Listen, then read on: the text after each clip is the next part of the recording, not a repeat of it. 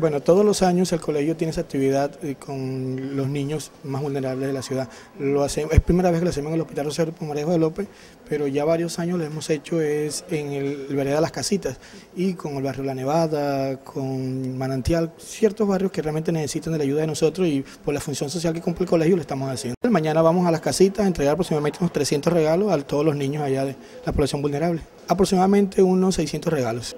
Eso se hace con el esfuerzo de los niños, hacemos unas actividades que se llama regalo que no te pongas, hacemos eh, actividades del colegio, con la tesorería de la institución, todos los padres de familia, los mismos docentes y se reúnen todos los, los regalos que necesitamos para entregarlos. Me siento contenta, gracias a Dios.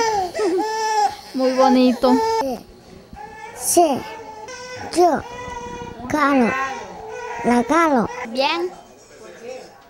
Sí, señora. Y ustedes. Y un balón y un carrito.